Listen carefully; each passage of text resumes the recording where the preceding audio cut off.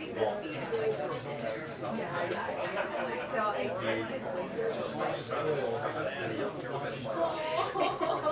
And then I heard Lisa talk, so I was like, I was kidding.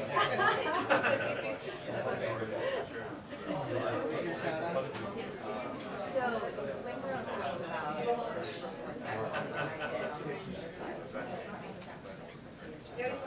Mentioned something like. We'll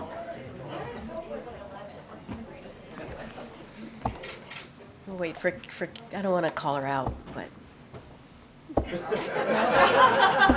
Madam President. Madam President, that's right.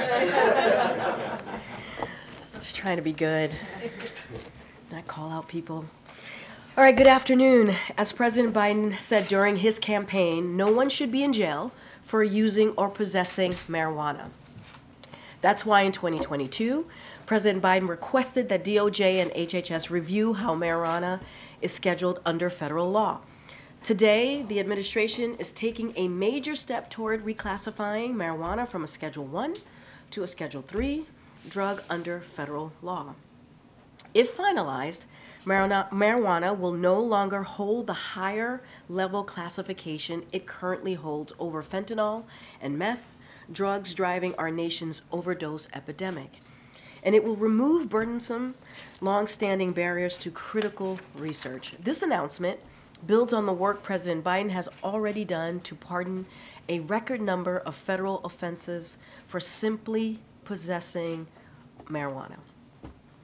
His categorical pardon for federal offenses of simple possession in October 2022 and December 2023 lifted barriers to housing, small business loans, and more for thousands of Americans.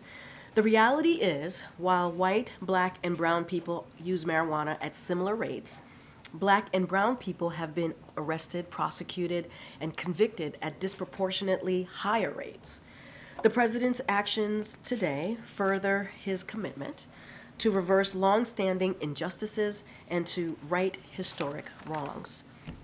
Next, I want to talk about um, a part, as part of our series of engagements uh, this week, we are marking the 70th anniversary of the landmark Supreme Court decision Brown v. Board of Education. Today, President Biden met with plaintiffs and their family members at the White House. Among those the president met with include Adrian Jennings Bennett, a plaintiff in one of the original cases, Bolling v. Sharpe, that was argued alongside Brown v. Board, and Cheryl Brown Henderson, one of the daughters of the, of the lead plaintiff, Oliver L. Brown, in the Brown v. Board. The delegation represents litigants from the five cases that were combined under Brown v. Board of Education and heard before the Supreme Court, as well as the NAACP President Derrick Johnson and other leaders of the NAACP were critical in fighting for these and other hard-won freedoms uh, for Black Americans. The president was proud to participate in this meeting and honor the legacy of those who paved the way for progress and hard-fought rights for Black Americans while highlighting his vision for how we must continue to build on these freedoms.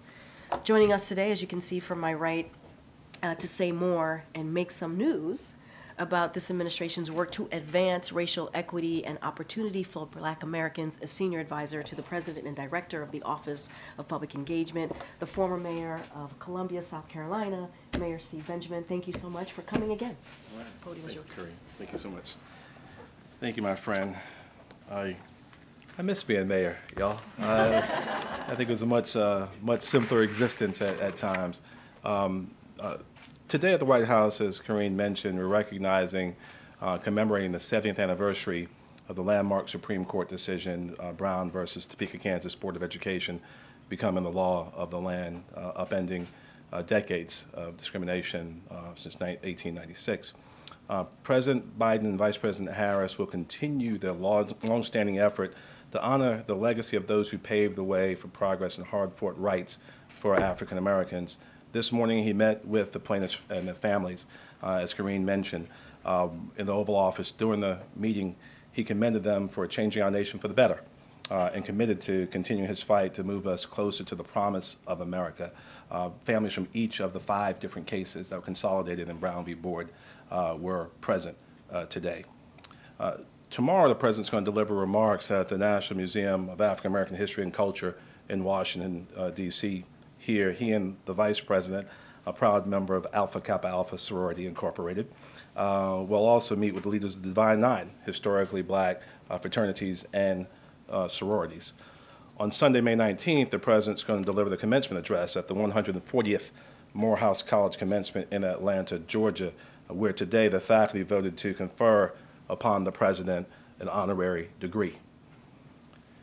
President Biden and Vice President Harris, who also, as we all know, serves as the very first HBCU graduate, uh, first to serve as Vice President of the United States, they know firsthand the value of HBCUs, and I'm proud um, and very pleased to announce today that the Biden-Harris administration has invested more than $16 billion in historically black colleges and universities, which is unprecedented, a record amount.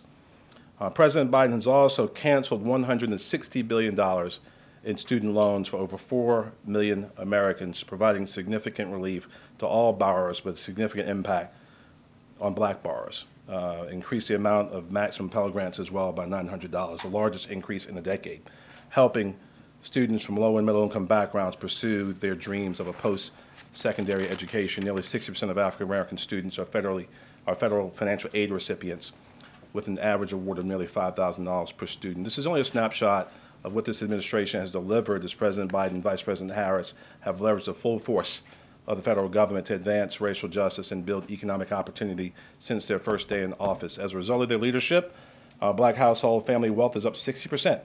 More than 2.5 million jobs have been created for African Americans.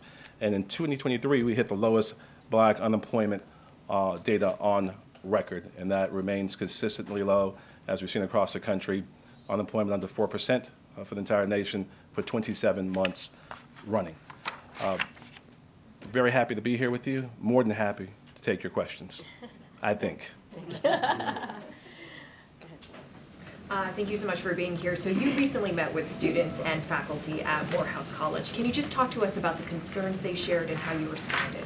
Sure, and, I, and I'll, um, I'll do my best to be um, um, clear and transparent because I also promised the students I would keep our conversation as closely as I possibly could. Uh, but you know, every day, um, um, as director of, of public engagement here, we get out across the, the country. Uh, I try to spend at least two days um, of every week on the road uh, somewhere, um, doing what uh, what uh, my grandmother and other loved ones might say. God gave you two ears and one mouth for a reason. You listen twice as much as you talk, and really wanted to lean in with these young leaders to hear what they wanted to hear on their very special commencement day. Many of you know that uh, four years ago, many of them were denied a commencement because of the pandemic, uh, the greatest pandemic since 1918, and wanted to make sure that the president's goal to center these students uh, and, and have a chance to discuss um, the real issues uh, of the world that um, they might have to address as leaders going forward was important. So we sat there, we talked about everything. I mean, we, we, we- talked about the status of the world. Um, certainly, uh, many of them wanted to talk about the Middle East and, and, and war. We talked about uh, reconnecting communities and, and, and the amazing $160 million going, going in just up the street, the Stitch Project in Atlanta, uh, working to, to, to undo some of the uh, damage done by previous infrastructure investments and how it's connect, reconnecting in a very reparative and restorative way uh, the Sweet Auburn community. Uh, we talked about, about wealth creation. Uh, um, each, each and every one of these uh, young men who I will say were exceptional. Uh, five students, all graduating seniors, going off to do great things at um, fine institutions and great places to work. Four faculty members and two administrators um, shared individually, one by one, the things that were important to them to try and hear. But the common thread was they wanted to make sure we were centering the young people, uh, um, and, and the president did that on, on Sunday. So, um, but we talked on, on any range of issues. I have a college-age daughter who also attends an HBCU and, and a 17-year-old as of today. Happy birthday, Jordan Grace Benjamin, um, uh, who is plotting uh, world domination and takeover as we speak. She's a real politician in the family, uh, but um, but their concerns and interest areas were not dissimilar from the two teenagers who live in our household. And do you or the president have any concerns about the president's address overshadowing the commencement, as we've heard from some students publicly? Sure. Um, no, obviously, I think what, what's going to be most important are the, are the words that the president articulates, and I, I know that he, he feels very deeply about what this means to these uh, young men. Uh, and, and I say young men, many of you know that Morehouse is a unique institution. Some of you who are familiar with the, with the legacy of the great school is, is probably the only place in the country, if not the world, right now, where that many amazingly talented young men um, are being trained uh, for leadership uh, in, in the world at one time, young black men. No, the, the, the goal will be to make sure that we use this as an opportunity to continue to elevate the amazing work that's been done at Morehouse over the last century and a half. Yeah, I, I, Mayor Benjamin, uh, I do wonder what kind of reception do you, having been there, expect the president to receive at Morehouse? Also, does he plan to have any direct engagement with, with students or faculty there? A lot of them that I've talked to have said, you know, we don't just want a, a campaign speech or a speech at us, but we want to be able to talk policy or talk about their issues. Sure, I'm, I'm sure the president will have a chance to engage with um, faculty, staff, and students um, while he's there, and I know that he looks forward to it. Did I answer that question? Yeah, well, the, Okay. the first one, what kind of, having talked to students in Morehouse, what kind of reception do you expect him to receive? Sure. You know, um, uh, you know, it's it's so important to realize that uh, no community is monolithic. Um, uh, even some of the, the, the range of, of opinions that we received uh, last Friday and that I've heard from speaking with literally uh, dozens and dozens of, of folk um, just about, about this speech over the last uh, several days, people have different thoughts about what they might want to hear. I do know that the president, again, is, is very focused on centering these young men and, and what this, this transition in life uh, means to them. So we listen very closely. We've received those messages and we shared those with the president and, and uh, his speechwriting team. Thank you, Mr. Mayor. Happy birthday to your daughter. Thank you. Um, Does the president share the president of Morehouse College's belief that the graduation ceremony should be halted if there are protests or disruptions? You know, I'm going to let Morehouse handle Morehouse and let Dr. Thomas, who's, who's been wonderful to work with um, as we prepare for the commencement, I'll let him speak um, uh, for Morehouse College. The president's been very clear. I mean, we live in a um, um, amazing country where you have three estates of government and you have a, a fourth estate that personifies uh, the importance of, of, of the right to free speech. Uh, you, you, you, and you do it well. That right to free speech extends to, uh, to um, even those who, who wish to protest, and he respects that, and he makes it a point to lean in uh, when there are protesters in the very same space. So we'll respect that. Uh, I think as long as they're peaceful protests um, that don't disrupt the the amazing moment that is for each of those graduates there today, I think uh, we'll all um, consider this a success. Did the White House ever consider canceling the speech once you learned that there likely would be protests? No, not that I know of, but I'll, I'll defer that to someone else. No, no, ma'am. Hi, Mr. Mayor, thank you. Um, recent polls have uh, Joe Biden and Donald Trump neck and neck among black voters, hoping to, hoping to stay away from the Hatch Act. Um, but do you think that the president's message is resonating with black voters? Well, you have no responsibility to stay away from the Hatch Act, but I do. Yeah. Uh, so I, I, I appreciate that. Um, I, as I mentioned, I spend a great deal of time on the road. I mean, th- this is a wonderful citadel of democracy, the uh, D.C., um, the heart of the republic. Uh, but getting out and listening to people and hearing the impact of, of President Biden's and Vice President Harris's policies on helping change their lives inform um, uh, my uh, opinion as to where um, just everyday Americans stand. We're not going to talk politics.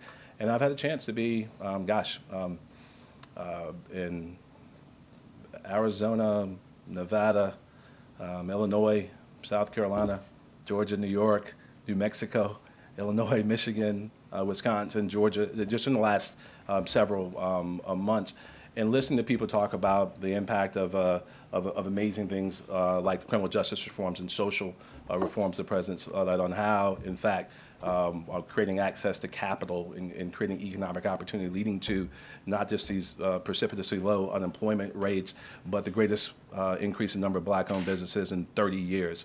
Uh, how we're not just talking about history like we are do- doing today with the, with the, with the Brown um, and related case defendants, but how indeed the president's making history every single day. That's a feedback I get from people, and I think we're going we're gonna focus, continue on making history on this side of, of, the, uh, of, of, the, of the table by just leading through good government and the leadership of the president and the vice president. Is there a connection between the investments that you talked about today in the HBU uh, community and the things you've been hearing from your travels? Uh, Some of the concerns that have been expressed by students and communities across the country, especially in the last several months of the Israel-Hamas war? Is there a link between the investments and what you've been learning? Sure, no. Um, the $16 billion number that we're releasing today is, new.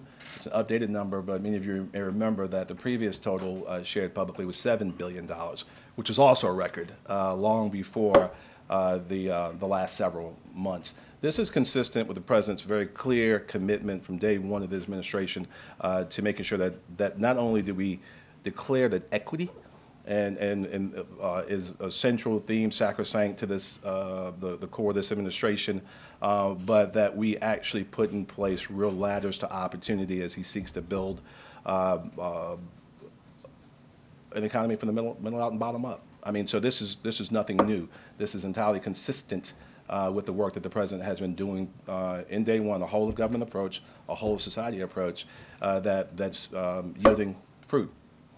And when you talk about this kind of investment, and you're meeting with groups of students who feel frustration, does it make a difference? I, you know, I- so I will uh, cross the line, maybe back to the first question, uh, just briefly.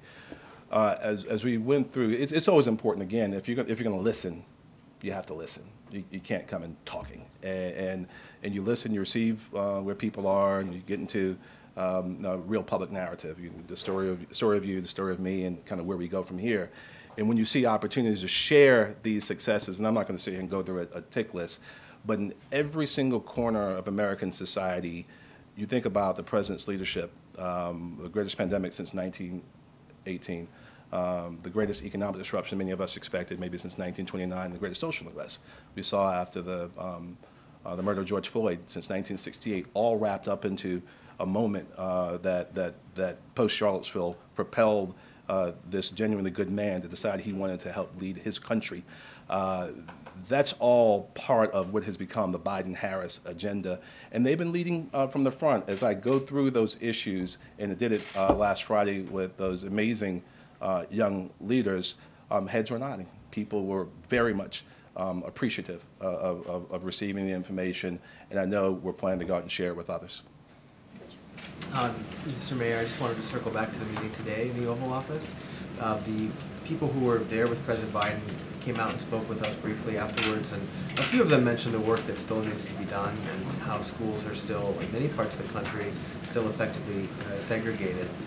Did the president have anything to say about that in terms of continuing work? And did he respond to the parent ask that a- a holiday be made out of the anniversary of the Brown versus Board? So that, that, um, that request came up in, in our, our meeting before the meeting as well, um, from one of the, uh, families of, the- of the litigants. Um, I mean, it's important to note that the first major national holiday, uh, established in decades is Juneteenth. Um, um, the president, uh, that's his uh, legislation. Um, the, um, establishment of the Emmett Till and Mamie Till Mobley Memorial uh, in Illinois and Mississippi, also uh, because of Joe Biden and Kamala Harris's uh, leadership, the passing of the Emmett Till anti-lynching bill. Even some of the tough things uh, left uh, to do. Um, hopefully, the the uh, passage of the George Floyd Justice and Policing Act someday. Each of the elements of the, that those bills are part of the president's executive order as relates to federal um, law enforcement agencies. Uh, in his conversation, uh, and, and- I'm not sure, um, uh, one of the um, speakers they may have mentioned, the president also talked to her mother, a 103-year-old um, litigant, as, as well by phone. Um, there's an acknowledgement every day with our president that um, we're, we're not where we ought to be, but we're certainly not where we used to be. And every once, every, every um, moment you have to celebrate the successes we've had, celebrating the diversity of this country and how we move forward together is a moment uh, to celebrate. Still a lot of work to be done, um, but it's, it's only going to happen with truly inspired leadership like we're getting from President Biden, Vice President Harris. Thank you, and thank you, Mayor Benjamin. The Morehouse commencement ceremony has been described as solemn, steeped in tradition. You just described it as unique.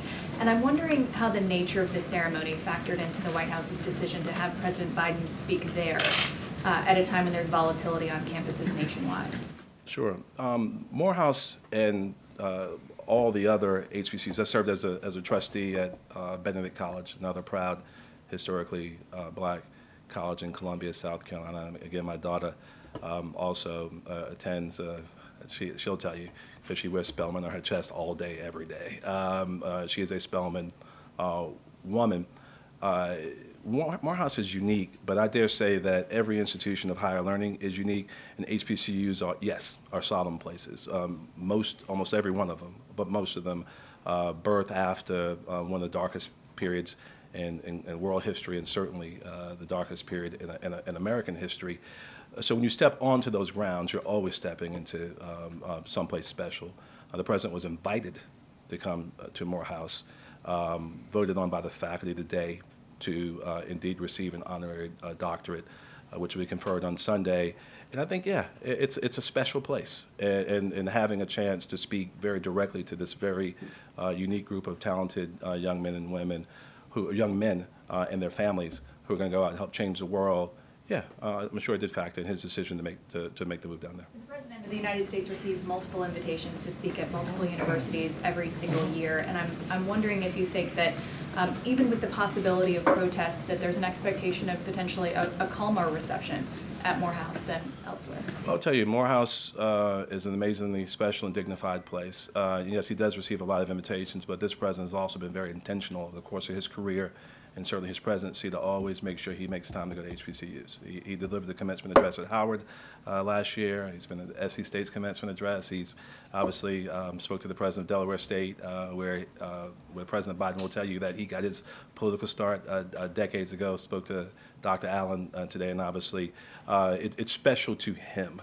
and he realizes that not only um, a speech, but more importantly, the $16 billion in resources to support uh, this amazing, uh, amazingly talented group of young leaders uh, that he doesn't just talk the talk, he walks the walk. Okay, I'm gonna start wrapping it up. Go ahead, go ahead. A question on, a question on the Oval Office meeting, and then wanted to follow up on something else. You said, had the president met with the families involved in the Delaware case prior to today's Oval Office meeting, or was this his first time meeting them? You know, it was, it was interesting, and obviously this is my first time in the same space with uh, each of, of them, and he spent a significant um, amount of time with the Delaware families. Uh, one of the um, uh, uh, ladies, a, a, grand, a daughter of one of the litigants, uh, indicated that the president had spent several uh, uh, moments on their couch over the course of, of, of his career. So he was very familiar with the case. He know he knows the case, but he'd engaged with the families uh, in the past. And then on the question of enthusiasm for the president in the African American community, what do you chalk that lethargy up to? You know, I will tell you again. I can only speak, uh, Francesca, to my um, to my experience. And when I get out there and we uh, talk to people about the amazing successes of the administration and the leadership of the president, vice president, people are psyched. I mean, they, they're they're they're they're happy about these meaningful. Um, uh, uh, um, developments that are helping change the lives of, of people all across uh, this country. We got to make sure, not, and that's that's a, a, a, a campaign job. Uh, our job here is making sure we share the news, and hopefully, in partnership with each and every one of you, uh, that the news gets out to all the places in, in this very different world in which we live, in which people receive their news. So. Um, um, uh, I- I'm looking over there. Can you not get the third question, Francis? Well, no, I just wanted to ask, are you saying that you distrust the polling that shows the president's support among the African American community is lower than it was this time four years ago, for instance? I, I can honestly tell you that I don't follow the polls. I'm your vision. Uh, Brown v. Board uh, not only ended separate but equal, but it was a reverberation for the civil rights movement. Similarly, there's a different movement happening after the Supreme Court ruling in Harvard versus Student Fair Admissions and with affirmative action that has created this sort of uh, seemingly this anti-DEI, anti-equity movement that has impacted schools, businesses, and even this administration's ability to implement some of its policies. Does the president believe that he has leaned in enough on this issue, and how much can we expect him to speak to that in tomorrow's speech? Sure. Um, well, he has one speech tomorrow at the, at the NAACP, and then um, obviously has um, several speeches uh, this weekend. Um, the president's un- unapologetic about the not only the principle of equity being uh, a core value to him, but also his his administration. But he continues to uh, make sure that consistent with his very first executive order, that every piece of policy and uh, that um, uh, comes out of the administration, as well as each of the, the cornerstone um, uh, uh, laws uh, and acts, Infrastructure Bill, Inflation Reduction Act, the CHIPS Bill, and, and, also the American Rescue Plan, that each of those pillars um, have the same core of equity, and it's led to record amounts of contracting. I think 76 um, billion this past year for um, small minority-owned businesses, record amounts in the Black community and, and the Latino community um, uh, as well. Uh, so he's not stepping back on his commitment to equity and continues to lead in and expects his administration to do the same. Alright, Okay, go ahead, Ebony, we got last question. Okay, I want to follow up on just two comments. Um, one, you just mentioned, um, the seventy-six in, seventy-six billion in contracts for minority businesses. Um, but can you talk about what that looks like for black businesses specifically? Um, 12.1 billion. twelve point one billion. And then my, my second question is, um, earlier you were talking about that we aren't where we, um, wanna be, but we, are- we're not where we used to be, we're not where we wanna be. Um, specifically, when the question was asked, what, what are the things, or, or are there any orders or policies that executive orders that we can see coming from the president that can address some of these inequities in education? When we were at, earlier, I was talking about how we are seeing resegregation in some of the schools. How can the administration, or is it, what, are, what could we see come from the administration to reverse that? Because there's been a reversal in some, in many areas. Yeah, um, I'll try to make uh, the answer as concise as possible. Uh, but as you can tell, I, I believe very much so in data and, and, and good data. You know, the, the challenge that we faced um, at the height of the pandemic, um, uh, recognizing uh, the still the way that most um, of our education systems across the country are, are funded. Um, um, property taxes, local resources, not necessarily uh, dedicated at the level that they ought to receive, even in, in sometimes in the same town or the, or the same state, can make things particularly uh, challenged. Uh, the work that the president uh, led on, uh, along with the vice president, to make sure that we're investing not only in HBCUs, record amounts per day, but also under the American Rescue Plan, uh, Title I schools uh, receiving $130 billion in, in, in funding uh, for maintenance of equity uh, requirements, making sure we're protecting high poverty uh, schools from reductions in state and local um, funding, I mean, it's, it's what he does every day. When I talk about not, not being where we used to be and also not being where we ought to be, there's this idea, and he talks about it often, you've heard him say it a, million times, about the idea of, of, of America. The idea is that we all aspire to be a more perfect union, uh, which means it, it, it's every once in a while, um, you, you could take big strides, big leaps forward. Brown v. Board was a big leap forward. Today's announcement of $16 billion for HBCUs is a big leap forward. But the everyday struggles um, uh, are, are, are, are, that's the hard work. That's the hard work that, that this president has decided that he's going to lean into every single day. Some days we'll take strides, every once in a while, you know, it's, uh, it's, it's three and out, sometimes it's inches, but we're making progress towards that more perfect union. And it takes intestinal fortitude and leadership and vision of the fact that um, we're stronger when we're together, that diversity uh, is, is our strength, and is something that the President and Vice President Harris are very proud of. Thank you all for having me, all right? Thank you, Mayor. All right. Appreciate it. Thank you so much. Thank you. Okay, Seung Min. Oh, wait, let's give him a second. to- All right. Um, two topics, if I may. Um, first, uh, President Biden decided to block the release of the audio um, of his interview with the special counsel. And obviously, the letter from the White House counsel laid out the reasons about the concerns of being used for political purposes. But that seems to imply that the White House is concerned that these could be politically damaging. So why not just release them, especially with this White House's commitment to transparency? Well, one, for one, the transcripts, as you all know, is already out there. I think the second piece of this, too, to note is that the Attorney General made it clear that law enforcement files like these need to be protected. Uh, and so the president made his determination at the request of the Attorney General. So just want to make that second point that I made really clear. Um, the Department of Justice and the White House counsel's office have uh, provided extensive written letters, as you all know. I'm sure some of you have read this on this issue. Uh, and like I said, that you have seen, and so uh, so when it comes to anything further or any specifics, obviously, I would I would um, I would refer you to my colleagues at the White House uh, counsel's office. But those are the just to make that that second point again very clear. This was taken uh, by determination. The president took the determination at the request of the of the attorney general and wanted to make sure the attorney general wanted to make sure that uh, that law enforcement files like these must be protected. But does the White House feel that the, the, the recording, the audio could be politically harmful since that point was also raised in the letter? So I can't, I don't want to get into, dive into the specific uh, uh, point that you're making about the politics. I would have to refer you to our uh, counsel's office on that. But there were determination that the president took very seriously uh, on behalf of uh, the, obviously at the request of the attorney general, and that's how this decision was made.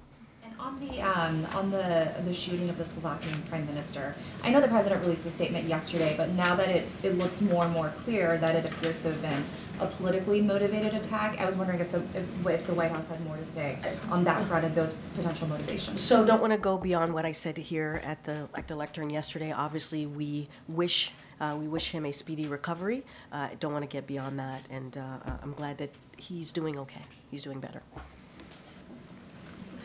Uh, thanks, Green. Just to follow up on what Seung Min was asking for, um, Speaker Mike Johnson said that President Biden is, quote, apparently afraid for citizens to hear his interview with Special Counsel Robert Hur.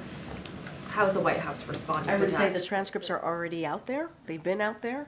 Uh, They have been released to the public. The public has an opportunity to hear directly from the president and what, uh, or to read and what exactly the president said.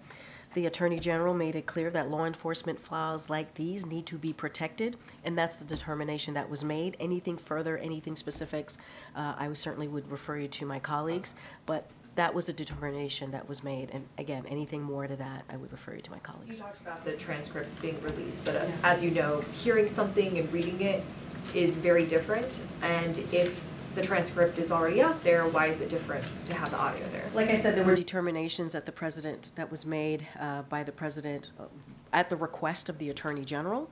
And so we took that very seriously. The president took that very seriously. And so that's what I would say to your question. Just one more question on another topic, with Xi Jinping meeting with Vladimir Putin um, at the summit in Beijing. They pledged to deepen their strategic partnership. Um, what is the U.S. assessment of the current Russia-China relationship? So I know that there was a statement, obviously that was a joint statement that was put out. Look, we don't see anything new here. Uh, I will reiterate what I said yesterday, which was we find it unacceptable that Chinese companies are helping Putin wage this war against Ukraine. We've been very clear about that. And if China purports to support peace in Europe, it cannot continue to fuel the biggest threat in, of the European security. And that's not just coming from us, it's coming from NATO, the EU, uh, the G7 partners. They've put out statement about this as well. So look, the statement is nothing new, it's the, more of the same, and we've been very clear where we stand on this. Good job. I'd like to follow up on that, actually. The, you said the statement is nothing new. It was pretty anti-American. I mean, if it's, whether it's new or not, is it concerning to the White House? Look, it, it, we don't see, again, we don't see anything new with this. Uh, we've seen this before. I, I, I get the point that you're making. We've seen this type of bilateral statement from those two, uh, from those two countries. We have been very clear about this, and it's not just us. You've heard from the EU, you've heard from the G7 partners, you've he- heard from NATO. Uh, and uh, look, we have been, all, all of the all of the um, allies and partners that I just mentioned, we've been very clear on making sure that we do everything that we can to give uh, the brave people of Ukraine who are fighting Putin's aggression the, the, the security assistance that they need. And that's why it was so important to get that national security supplemental. You heard, you heard us announce $1 billion on the day uh, that it became law, that national security supplemental, to get that funding out. You, you heard from Secretary Blinken, who was just in Ukraine, and talked about, talked about giving more of that security assistance. So we've all been clear. There, you know, these two, this two bilateral relationship, obviously they stand out as uh, two countries who, who are, as I said, put out the statement. But you know that is not the position, not not just the position of the U.S. They heard it from G7, NATO, the EU. We've been very, very clear about that, and we're going to continue to uh, to stand by Ukraine as they fight for their freedom, they fight for their democracy. Does this um, White House slash does the United States have any leverage to dissuade China from supporting Russia as much as it is? Look, I mean, we've been very clear publicly, we've been very clear privately, and we'll continue to do that.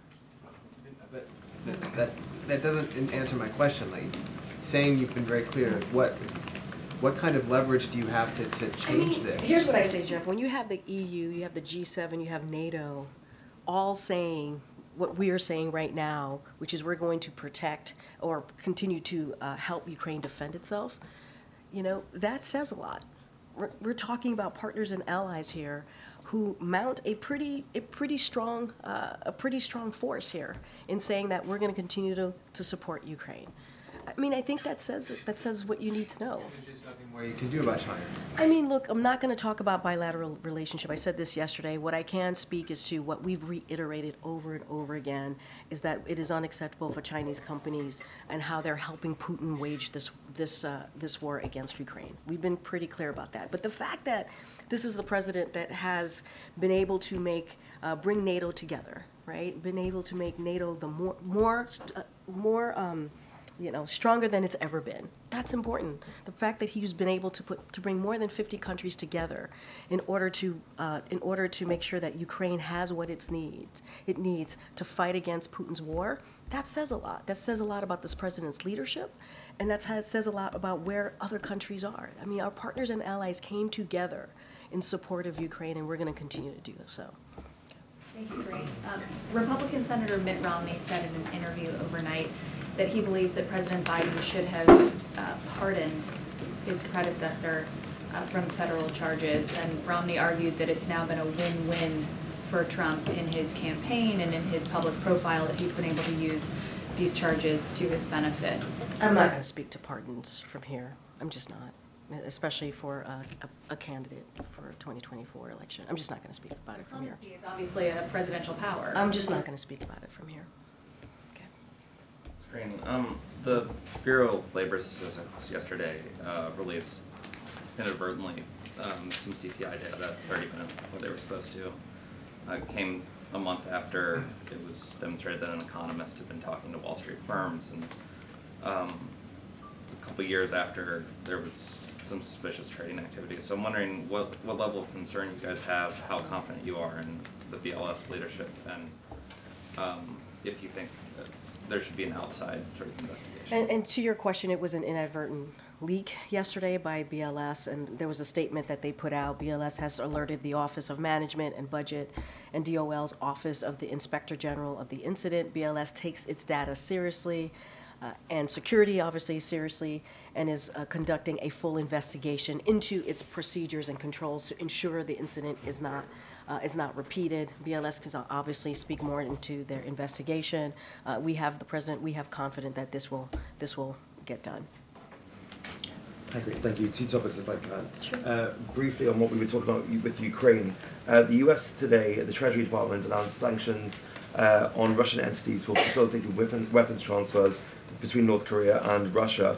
Also today, the, the chair of the NATO Military Committee um, said that Russia was outstripping Western powers in increasing their defense industry capacity.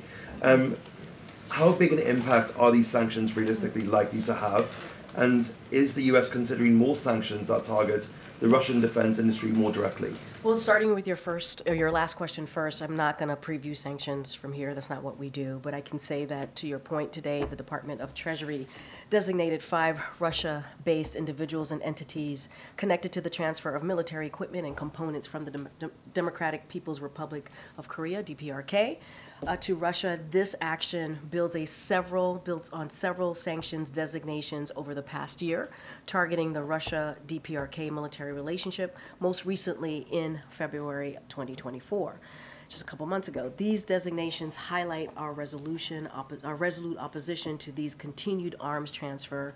We condemn Russia's veto of the UN Security Council resolution that would have extended the mandate of the UN 1718 Committee Panel of Experts, a body that documented violations of UN sanctions related to the DPRK.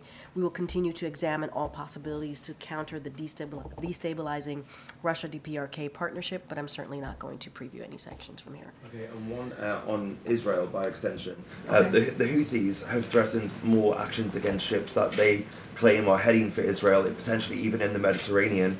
Um, will the US continue operations against the Houthis if these attacks restart? So look, uh, obviously we condemn these Houthis, uh, Houthis for these attacks and continue to take action to hold them accountable. We've been pretty uh, consistent in doing that for the past several months. These reckless attacks uh, by the Iran-backed Houthis have not only disrupted global uh, trade and commerce, but also taken the lives of international uh, seafarers simply doing their job. So we have taken significant amount of uh, Houthi weapons. Our military is regularly destroying Houthi missiles when they're being loaded and prepared to launch, but before they can actually be fired at commercial ships as well.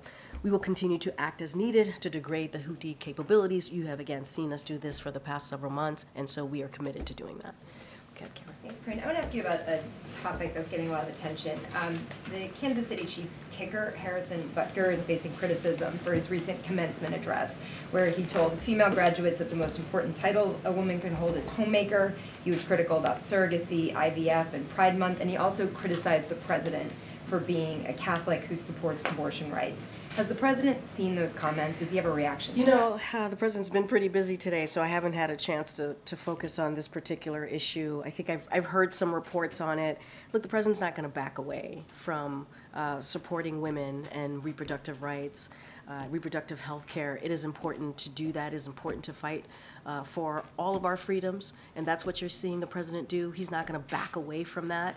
And look, I can't speak to this specific thing because I haven't re- heard it in in in, um, in its entirety.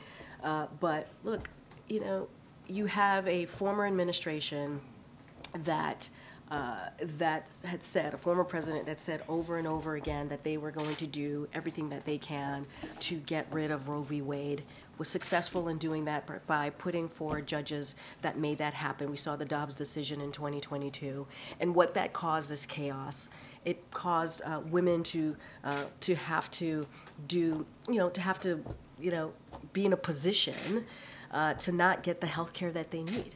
I mean that's should not be where we are as a country. It should not be. And then you have extreme Republicans that continue to talk about uh, to talk about how uh, they want to put national abortion ban. It's causing chaos. It's causing chaos for women. It's causing chaos for families. When you're saying that a family can't make a decision on IVF, That's not what this president is about. He wants to make sure that women have the right to make these incredibly difficult decisions about their health care. So families could make a decision about how they want to build and, and move forward with building a family. And so can't, I can't speak to those direct comments, but what I can speak to is what the president is committed to, and he has shown that over and over again. And you have a vice president that has toured the country talking exactly about that, about how we have to protect our freedoms and freedoms of, of obviously reproductive health as, as we're speaking right now. I know you said you can't speak to the comments, Yeah. but as the president gets ready to give his own commencement address, uh, does he think a message like that is appropriate at a commencement address? From, from this particular, I, look, I, again, I haven't heard, I haven't heard this uh, in context. I, I- I saw some reporting, so want to be super mindful. Look, the, pr- the president sees commencement day as such an important moment for not just the students, but for their families, uh, obviously their loved ones, to talk about the future, to talk about how how they how in the world that we are in now, in the world that we're in now, how do we move forward? And you'll hear themes from this president uh, on that particular message, uh, and he understands how critical and important, and how those messages, especially a message from the president of the United States, how much it matters. Uh, I don't want to get ahead of the president. He's going to obviously lay out and speak to his commencement address on his own. Uh, but he's done this many times before. Uh, he's done he's done this when he's given commencement address as a senator, has done it obviously as vice president and now president, and this is an incredible, important, impactful, impactful moment. Uh, Thank you, Karine. Uh, Just, uh, just now, uh, one of your colleagues at the State Department said Israel needs to do more uh, to prevent settlers from sacking trucks of humanitarian aid bound for Gaza. Uh, The people who are doing uh, this sort of thing are uh, supporters of Prime Minister Netanyahu. They're part, the far-right parties are part of his coalition. Is the president concerned that the prime minister's domestic political needs could be preventing him from cracking down on uh, what is essentially aiding a famine? So look, um, a couple of things. I do want to give an update on humanitarian aid uh, that has gone into Gaza. I think it's important.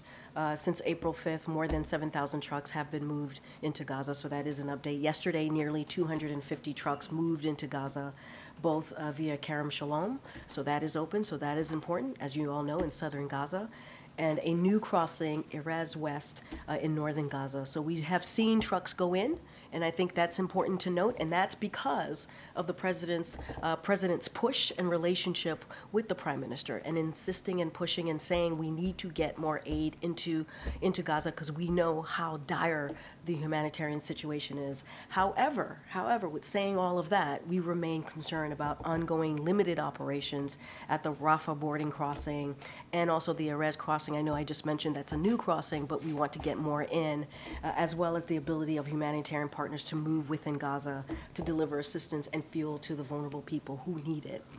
So this level of aid remains insufficient, and we want to continue to press uh, Israel to increase the level of assistance moving into Gaza. I cannot speak to the prime minister domestic politics. That is for him to speak to. What I can speak to is what we have been working on doing and how much we understand the importance of getting that humanitarian aid in, and that's what we've been doing. i understand You can't speak to the prime minister's motivations. What I asked you, as the spokesperson for the president, Yeah. is, is the president concerned that Prime Minister Netanyahu's domestic political situation may be What- imperiling F- U.S. efforts to get more aid into What I'm saying is that we understand what I just laid out is not sufficient. We want to get more in. We are continuing to have those conversations with Israel, and we have seen some progress. We need to get more in. And so the president is committed to that, and that's what you have seen from this president. That's what I will speak to. Yeah, Nadia. No, I know you have follow-ups. Go ahead. Just want to follow up since you out, uh, update us actually on the humanitarian aid. Yeah. But equally uh, as important issue is the fuel. So now the UN agency are saying that no fuel is impossible to get fuel to Gaza, and you know it's vital for the hospitals. So is, what efforts are the White House is leading to push the Israelis to allow fuel in. So as you know, the pier is in place, which is very important. It'll be operational in upcoming days. So that's important, and obviously the Department of Defense will have more specifics on that. And so we're confident that we're going to be able to uh, distribute this type of aid to get that in uh, to Gaza. And uh, so we continue to have conversations with the UN uh, and the Israelis and also NGOs to ensure to ensure humanitarian workers are protected and we can, we continue to get that aid in. You heard from the National Security Advisor just days ago speak from this lectern to say that we are trying to do everything that we can from air, uh, sea, and land to get that humanitarian aid in. It is, we understand how critical that is uh, to get done. And so this pier is now in place, and up next couple of days, uh, very, you know, coming days, we'll get that moving. And that is one way, obviously, we're going to get that fuel in, get the aid in, and obviously, we're still working on the land crossings. And as you just heard, I gave some updates on, on the trucks that have gone in uh, to one of a new crossing that just opened up, and obviously Kerem Shalom. So we are committed. This president is committed in getting that done. One more question. Um, yesterday I did an interview with Senator Lindsey Graham. He said basically that a defense and security comprehensive package with Saudi Arabia it could happen sooner than later. And he suggests that actually it could be happen under a democratic administration. And he's willing to help the president to deliver it. So long, yeah. The region. Can Yeah. you just? Uh, Well, I can't confirm, I can't confirm Jake's travel, but, but go ahead. All right. Well, we can confirm it. I cannot confirm it from here. I appreciate that. Uh, But can you whip this in and um, basically um, tell us that if if the White House believes this deal could happen, um, later on link it obviously to what happened in Gaza and the. Well, you know, we've been, we've been very consistent about uh, our long-term goal for a more peaceful, uh, stable, prosperous, and integrated Middle East uh, region, and that remains a focus for us. That remains a focus for this president. That remains a focus for our U.S. foreign policy. That is will always be where we stand on that, and we continue to have conversations uh, on these issues in, to include the need of a pathway to a Palestinian state, uh, which is the only way to establish a sustainable peace between uh, the Israelis and the Palestinian. That continues to be, we've been, again, very consistent about that. Uh, our immediate focus remains to securing the release of hostages to make sure that we get also get to a ceasefire, get that humanitarian, create an environment where we're getting more uh, humanitarian aid in. So obviously that's our focus right now because we understand how important it is uh, to get those hostages home to their loved ones and to their families, to get that humanitarian aid in, and to get to a ceasefire. We want to see that. We want to get to a ceasefire. Okay, Michael. Thanks, Karine. Uh, the governor of Florida signed a bill today that effectively erases all references to climate change in Florida law. Uh, do you have a response? It's uh, pretty shameful. Uh, and, uh, you know, the president, as you know, has been the most um, progressive, uh, has done more on climate change than any other president. Uh, and, uh, and so we are committed, committed in dealing with this crisis and meeting our goals.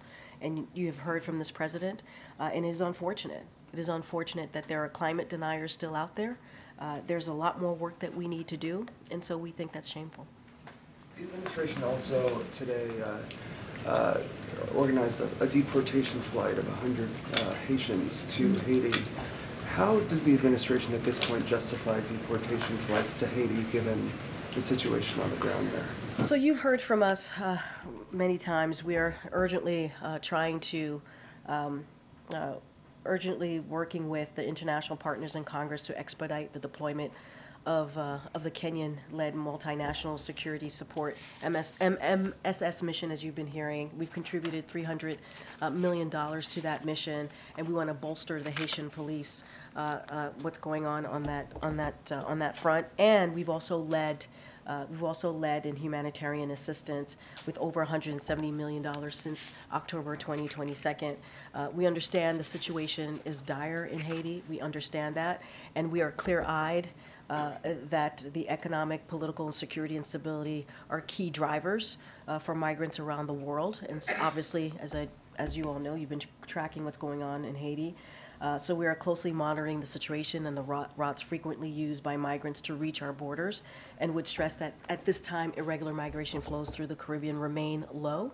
Um, But that said, we are always planning for contingencies, and we believe that is important as well. I can't speak to this particular, uh, this particular incident. I have not spoken to the team about this yet, but we get how dire it is there, and that's why we've tried to move up our humanitarian assistant here, um, leading the world in getting that humanitarian aid, and we're trying to get the M- M- MSS in place uh, so that we can give the support to the Haitian National uh, Police in dealing with the dire situation that's happening. Okay, go ahead, go ahead, Patsy. Thank you, Karine. Um, Israeli Defense Minister Yoav Gallant yesterday publicly questioned Prime Minister Netanyahu on his strategic endgame of the war, uh, calling out for an establishment of a governing alternative in Gaza that's not Hamas but also not Israeli military rule. And to me, he is basically saying what Jake Sullivan and Secretary Blinken has been urging for the same things this week. Um, even though this is the first time that uh, Gallant is saying it publicly, this is something that we've known uh, privately from Israeli defense, uh, defense officials for some time now. I'm just wondering about the timing of this, how uh. Jake and then Secretary Blinken and then Gallant are all saying the same things this week. Was there any coordination of any So, sort? so I'm not gonna, I'm gonna let others uh, do an analysis of the speech. That's not something I'll do from here, but we've been very clear uh, that when it comes to the future of Gaza, we do not support an Israeli co- reoccupation. We've been clear from this podium, uh, from obviously behind this lectern, and we obviously do not support Hamas uh, governance in Gaza. So that's where we've been. We'll continue to be there. Uh, the, that underscores the importance of having a clear and concrete plan uh, for the day after the conflict at, in Gaza. Uh, as you just stated in your question to me, Jake Sullivan, our national security advisor, was very clear about this very recently. And so we have discussed this with the Israelis, and so we'll continue to do that, to have that conversation. But I'm not going to analyze his speech and talk, speak to. Timing, though, was there any Yeah, but I'm not, I'm not going to speak to timing, I'm not going to give an analysis on it. We're continue to have those conversations with the Israelis as we have been, and we've made our point, and we've made our, our, where our stance pretty clear on that. You heard that from the National Security Advisor, Jake Sullivan, very recently at this lectern. more broadly on the on the ceasefire itself, it appears to be in deadlock right now. So at this point, is the president still confident that his strategic end goal to end the violence in Gaza and then what happens the day after can align with that of Israel and Hamas? Look, we have to continue to be hopeful. This is a president that's optimistic, that's hopeful. Uh, we're going to continue to work around the clock to get this done. Uh, you know, this could all end today if Hamas would release the wounded, the women, uh, and uh, and we've said this over and over again. The elderly, uh, it could end today. Uh, but we're determined to get those hostages home. We are determined to get uh, to get to a ceasefire, to get more humanitarian aid in, and we have to be optimistic. We have to be hopeful here. Okay, all right. Um, Israel said today that additional troops will enter the Rafah area and that its operation there will intensify. Do you have a comment on that? What I will say is that we are continuing to monitor. I'm just going to repeat what Jake Sullivan said from this podium. Nothing has changed since he was here on Monday. Uh, and we're continuing to monitor. We made our, our case very clear about a, uh, a potential uh, major uh, military operation in Rafah. We have our concerns about that. We've made that clear to our Israeli counterparts. We'll continue uh, to do that. What we have been told by the Israelis and what we have seen is that these are targeted, what we're seeing in Rafah, targeted operations, uh, and we're going to continue to have those, those, uh, those we believe constructive, these, these meetings that we've had have been constructive, not just in those two virtual meetings, but on a daily basis. We certainly are talking with the Israeli government. All right, you have the last one. Thank you. Uh, The Deputy Director of ICE is telling us that two Jordanian nationals are in removal proceedings now after posing as Amazon delivery drivers to crash the gates at Quantico. Does the White House think this might have been a failed terrorist attack? So, going to be really mindful. These two Jordanians uh, that you're speaking of remain in ICE uh, ICE custody, and given that it is an active law enforcement matter, so I would have to refer you to ICE. I just can't dive into this uh, because, again, they, there's a law enforcement. ma- This is a law enforcement matter. Something totally different. Oh gosh, where is this going? Uh, have you heard Oh no. that Vice President Harris is telling friends that she may go back to California and run for governor if the election does not go her way? Uh, that is news to me. I I would say this: um, the vice president has been a great partner to this president. Uh, he is appreciative of the work that she has done. It is impressive what she's been able to do on these tours that she has done on reproductive rights, her leadership on gun violence, uh, to fight gun violence across the country, prevention, obviously, and leading in the in the first historic office coming out of the White House. She has been uh, an amazing partner, and the president appreciates her, appreciates her leadership, and that's all I'll say to that. And oh gosh. Uh, why is President Biden celebrating today the Dow reaching 40,000 if his position, dating back to 2021, about the stock market is that's not how I judge whether or not we have economic growth? So while we have long said uh, that the stock market is not the economy, and we have said that to your point, uh, it's clear that what we'll say is that the president, uh, President Biden's uh, economic plan is working. It's growing the middle class, as you hear us talk about all the time. Spurs investment in manufacturing created almost 800,000 jobs in this administration alone, and infrastructure, and outperform other countries. That's what the president has been very focused on. Record stock market highs under President Biden are good for retirement accounts and household wealth, and that is just a fact. And so, uh, which we, which you know, we would never root for uh, a stock market crash uh, or for Americans to lose their jobs. It's something that we would never root for from here. Uh, but obviously, um, uh, you know, the stock market again is not the economy. But we believe that the president's economic, President Biden's economic plan is working. Again, growing the middle class, and I think that's a good thing. I think we should be really grateful for that for the American people. Thanks, everybody. I'll see you Thanks, tomorrow. Maria. Thank you.